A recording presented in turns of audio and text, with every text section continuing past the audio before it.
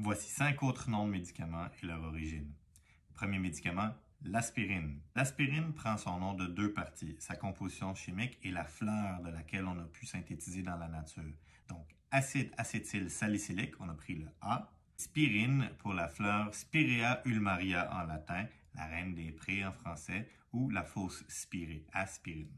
Deuxième médicament, Prévacide. C'est facile, ça prévient l'acide. Troisième médicament, la warfarine, cet anticoagulant.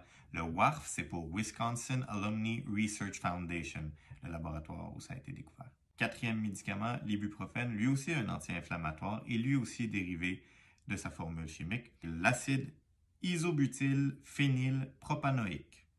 Puis là, ils ont mélangé, ça fait ibuprofène.